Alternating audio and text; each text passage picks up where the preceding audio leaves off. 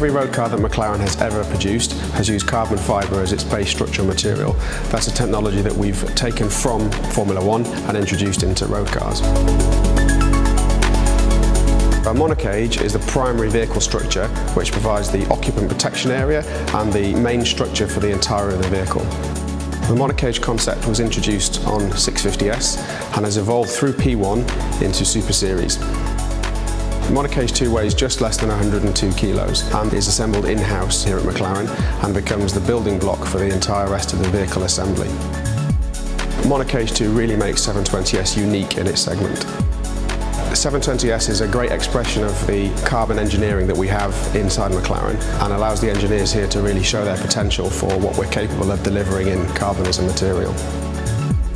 Our design team have done a fantastic job of the exterior styling of the 720S, but I think the real success is on the engineering detail on the inside of the car.